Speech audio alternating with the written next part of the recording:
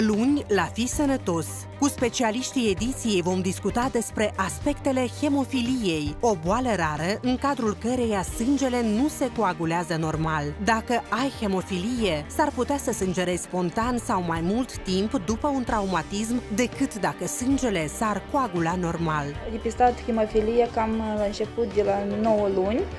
Când au început să apară primele vânătăi, în urma unei analize, am depistat că noi avem hemofilie tip A. De atunci suntem nevoiți să venim în secție de hematologie, să internăm o dată la 5-7 săptămâni să, pentru a pune factul de coagulare sângelui. Cea mai mare îngrijorare a bolnavilor o reprezintă hemoragia internă, în special cea de la nivelul articulațiilor genunchilor, gleznelor și coatelor, dar și sângerările nazale sau gastrice și urinare. Această hemoragie internă le poate afecta pacienților organele și țesuturile și le pot pune viața în pericol. Cu detalii revenim luni de la 17.30 la Fi Sănătos.